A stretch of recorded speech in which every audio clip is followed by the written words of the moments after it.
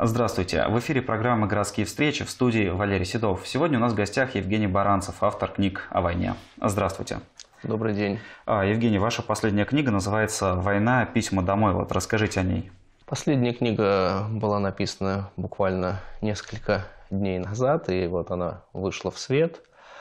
Книга, в которой есть две сюжетные линии. Первая, наверное, и самое главное, это более 150 писем одного единственного фронтовика, нашего с вами земляка, э, студента педагогического института, который в сентябре 1941 года был призван в ряды Э, Красной Армии и осенью 1944 года бесследно исчез. То есть вот этот вот пласт писем, а их более 150, рассказывает о его военной жизни в разных, так сказать, проявлениях, потому что он был и в учебке, и э, на фронте, непосредственно на передовой, чуть более оттянутым, в какие-то моменты чуть более оттянутым в тылу, потом получил а, на передовое ранение, учил, э, лечился в госпитале, затем учился в офицерском училище и затем снова был направлен на фронт,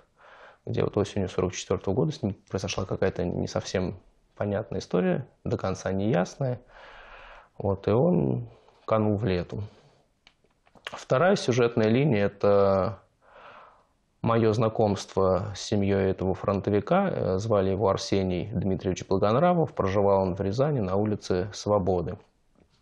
Вот. И мои поиски, а, ну, его, установление его судьбы все-таки. Много удалось найти, узнать, но на самый главный вопрос так мы не ответили. То есть книжка вот с такой дилеммой. Каждый, прочитавший ее, уже сделает свой вывод, что же он погиб или, получив тяжелое ранение, все-таки остался жив. Книга написана в соавторстве с Александром Анитовым. Это внучатый племянник э, нашего героя. Вот, собственно, в семье Анитовых и хранились эти вот письма с фронта. А как пришла идея создать такую книгу?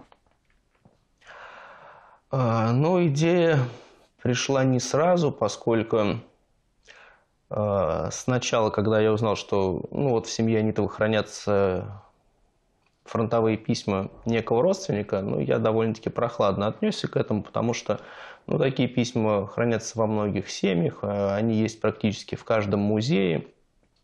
Вот, то есть сначала такого никакого а, рьяного желания э, заниматься этой темой не было. Но просто во время одной из наших встреч, она не касалась вообще военной темы, темы с Александром Анитовым, он принес показать эти письма, достал а, коробку внушительную, достал из этой коробки огромную пачку, и когда я увидел этот объем информации, который был а, написан непосредственно вот оттуда, с фронта, да, с передовой, мне прям промелькнула мысль, что, возможно, в этих письмах уместилась история всей войны. Вот, ну, заинтересовался этим объемом. Потом начали вместе с Александром Анитовым их разбирать, пытаться прочесть. А это не всегда было сделать легко, потому что, как писал сам автор в своих письмах, он там подписывает «пишу на коленке», «пишу на котелке». Писал он а, обычно простым карандашом, и понятно, что за минувшие 70 лет а, яркость там где-то совсем потерялась, где-то почерк его трудно читается. Вот. Ну, когда начали вдаваться уже в содержание писем, а, нам показалось оно любопытным, интересным. Ну и пришла, наверное, тогда вот первая мысль о том, чтобы все это собрать воедино, выстроить в хронологию и издать. Вы работали в соавторстве. Кто чем занимался? Да, мы работали в соавторстве. Э, огромный пласт работы, может быть, даже основной, проделал э, Александр Анитов, потому что он разбирал и, если так можно сказать, переводил на русский язык вот эти вот нечитаемые письма. Я, в свою очередь, пытался э, набрать фактологию на книге, потому что, ну, во-первых, он в силу военной цензуры никогда не упоминает номер своей части, где они воюют, что сейчас происходит Э, на, на фронте в глобальном понимании. Я добавлял фактологию вот в эти письма, чтобы сделать их понятными читателю. И также представил на страницах э, свою историю знакомства с этой семьей, семьей Благонравовых Ханитовых, поскольку ну, она довольно-таки тоже получилась неожиданной, интересной, местами даже мистическая.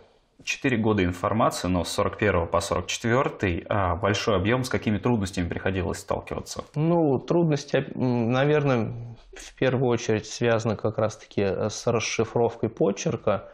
А, во-вторых, большие трудности были с датировкой, потому что не все письма сохранилось здесь в полном объеме, не сохранилась часть конвертов, и поэтому, чтобы выстроить все в хронологию, а в книге письма, естественно, выстроены в хронологическом порядке с сентября 41 а, по осень 44 приходилось вчитываться, ну как бы, ну это и, и хорошо, наверное, так и нужно было делать, детально углубляться и а, ну, чувствовать уже себя как бы автором этих писем, потому что нужно было его, жить его жизнью, чтобы понять, что зачем происходит.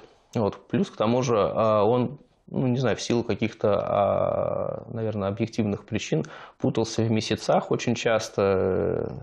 Сначала мы одно письмо относили э, на один период, потом читали, читали вот так вот э, вживаясь в его образ, понимали, что нет, оно находится не здесь, а чуть назад его сдвигали или чуть вперед. Вот. Ну и сложности были, конечно, э, с тем, что в силу вот этой вот военной цензуры нельзя было ему э, упоминать номера частей, э, номера госпиталей. Но, собственно, он до Рязани доводил вот этот минимум вот этой, эм, как сказать, такой точной, точной армейской информации. А хотелось, конечно, чтобы читатель представлял всю картину, понимал, какая часть, где она сражается, какой госпиталь, где он дислоцирован, где расположен, что за э, медперсонал там и так далее.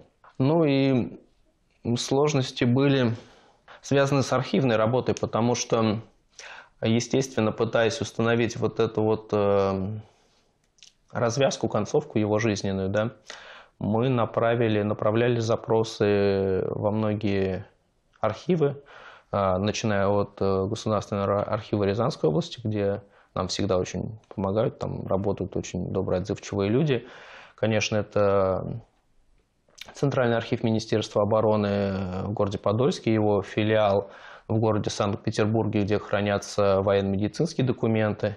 И также буквально забросали различными запросами Республику Карелию. А в чем были сложности? Сложности в том, что необходимо было получить ответ как можно скорее, вот, а не всегда это получалось.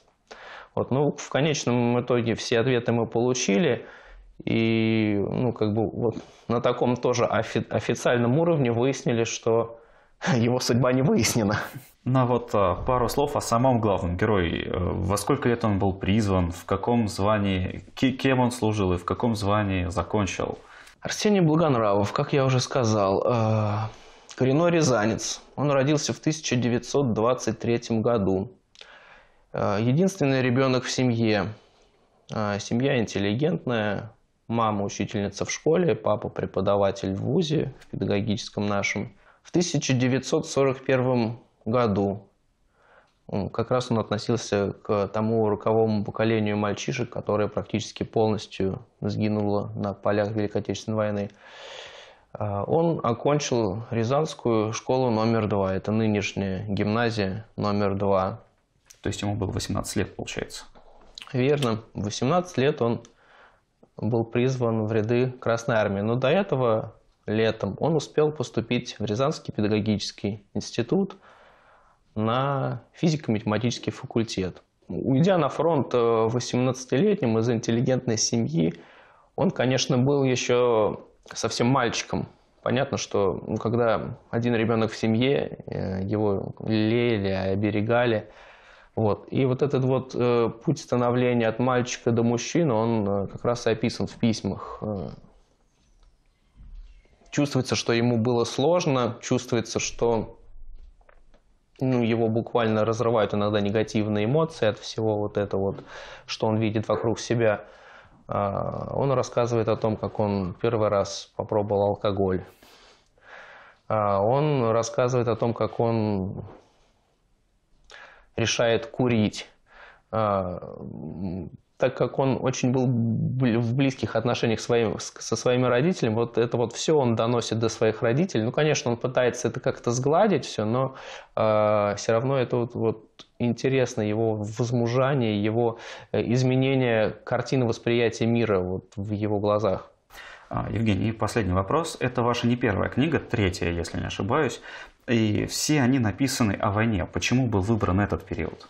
Работая журналистом, Однажды я как раз столкнулся с военной тематикой, с военно-краеведческой тематикой. То есть необходимо было сделать э, материал, посвященный военным событиям на Рязанской области. И вот во время работы над этим материалом я понял, что очень мало вообще всего известно о тех событиях, которые произошли здесь, на Рязанской области, потому что как-то ну, было принято считать, что войны у нас практически не было, и тем, кто занимался историей, наш край был неинтересен. То есть где-то изучали и копали там под Сталинградом, в районе Курска, да, там Смоленск, такие более классические военные города.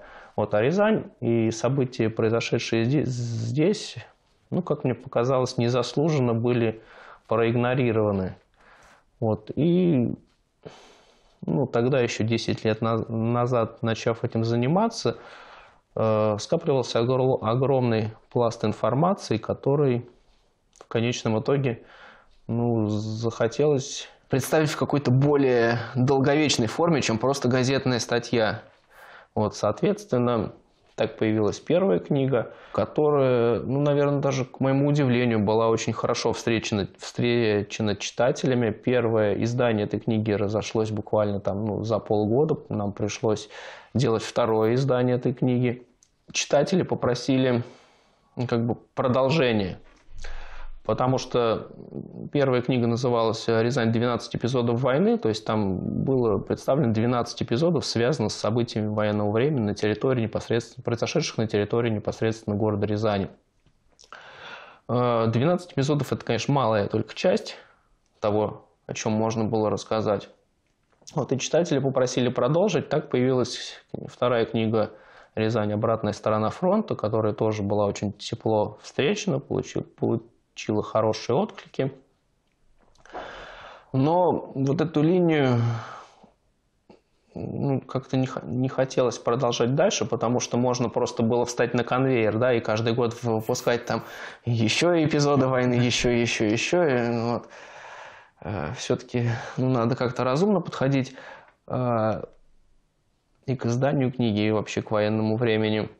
И поэтому, как я говорил, ну, задачи выпустить третью книгу не было. И то, что вот эти вот 150, более 150 писем попали мне на глаза, это, ну, как бы я считаю, что это случайность. И третья книга, она во многом рождена вот таким вот случайным образом, незапланированным, если можно так сказать. Но вместе с тем, когда мы уже начали работать над ней, получили отклик, э, люди сказали, что да, они ждут. Более того, Люди помогли нам в ее издании. Отдельные вот слова благодарности хочется сказать э, вице-губернатору Рязанской области Игорю Михайловичу Грекову, вот, который поверил, доверил, помог нам с этой книгой. Вот. Ну и сейчас она делает первые шаги. Посмотрим, насколько наш герой понравится нашим читателям. Евгений, спасибо большое, что стали сегодня нашим гостем, ответили на интересующие нас вопросы. А на этом я с вами прощаюсь. Хорошего вам дня и до встречи в эфире.